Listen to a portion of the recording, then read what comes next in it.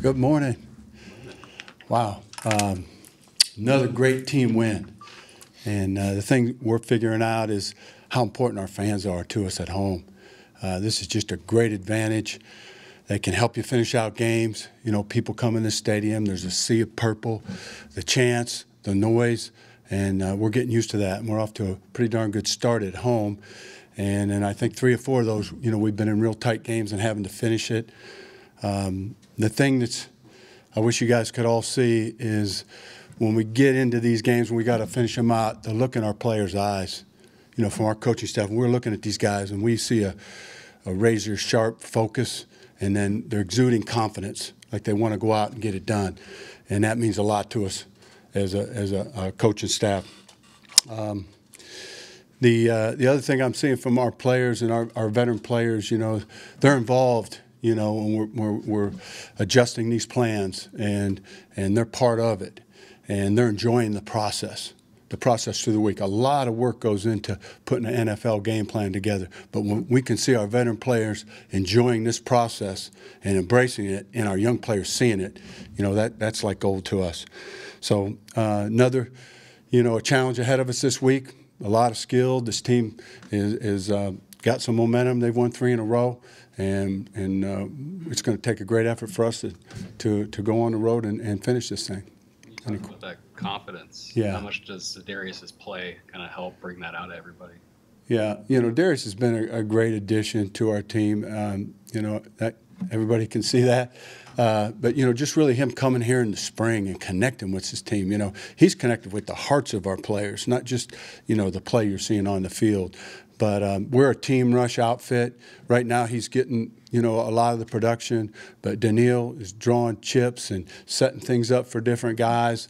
Uh, all of our guys in there. You know, um, DJ, uh, Pat Jones, uh, the, the whole group, and not you know Tomlinson, you know, right on down the line. But it's a team rush group. You'll see the productivity be spread around. Um, but but we love him, and he and and he gives us some some added things where we can position him to cause mental stress for the opponent.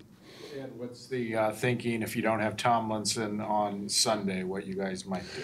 Yeah, you know, we're, we're pretty well stocked there. You know, our personnel department, you know, brought in extra guys. He's a heck of a player. We hope he makes it.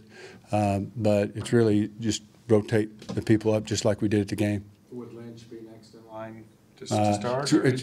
you know, if you really look at, at D line, it's different than like safety or corner or something like that. We're rotating guys anyway, so nobody's really next in line per se. In certain packages, they are, but it's really kind of a team team outfit there. We'll spread the work around. But Lynch has played in the rotation, but Tonga's in the rotation. They'll they'll all split the work if that were to happen. And how do you, um, you mentioned involving players in, um, in Yeah. game plans and all, how do you do that, um, in a practical sense? Like, do you meet Yeah, with them? Do you just, if, have your door open if they wanna come in, or how does that? Yeah, um, I'm always listening. You know, we, we put it out there, but I'm always listening and feeling, and whatever they're giving me back, that, that matters. And, and uh, I kind of misstated a little bit, but they're going to be comfortable with what we do when we hit the field. And I can read that and I can ask questions and, and so forth. But when you have the, the Kendrickses and the Jordan Hickses and, and Z and Danielle and, and Harrison, you know, those kind of guys, Pat P, you know, the, the, you want to take advantage of that because it's like gold when you use it.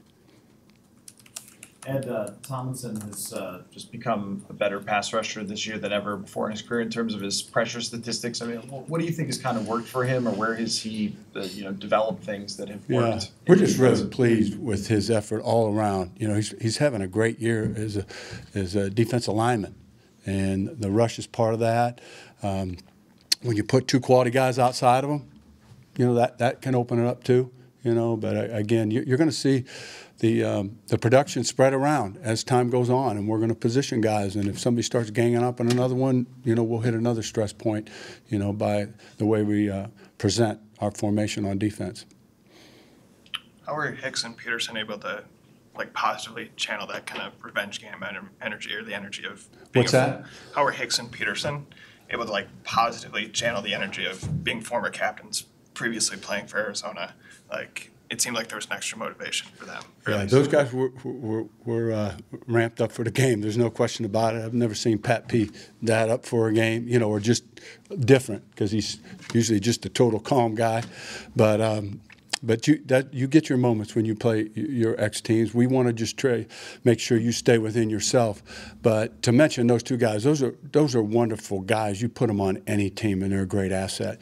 And they're a great asset because they're givers. You know, Pat P. He feels like he's it's his job to foster all these young people and and the um, the role model. You know that they're watching him and he knows it, and it's important to him.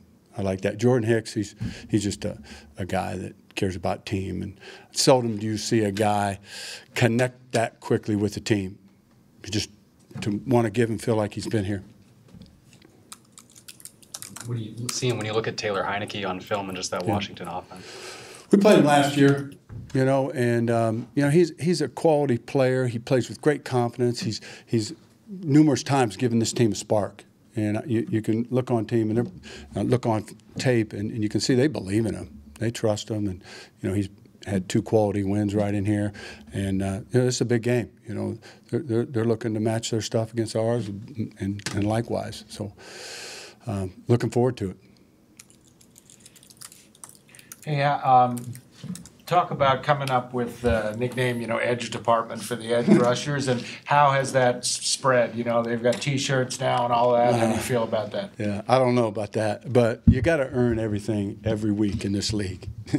You're 60 minutes away from not having anything. So uh, it starts with your process, your preparation, and and everything. But we, we like our guys to have fun and identities, and you know, as long as everything you do is team's that much more important to you. You know, just a millimeter more important to to everybody around it. But we want our guys to enjoy uh, playing football and having a positive feel for each other. You know that that's we like that. The more I- I'm, I'm going to use the word enjoyment, you know, that they can have while they're doing this. You know, it all pays off for you later.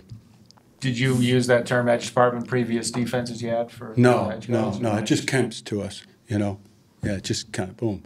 We, you know, and and you know, we, we talk about the edges are part of this, the foundation of this defense, and that's part of the three four. And they stand up, and they, they got to be violent on those edges. It just kind of came to us, so we looked at those guys and, and their eyes. So, yeah. Thank you, guys. Have a good day.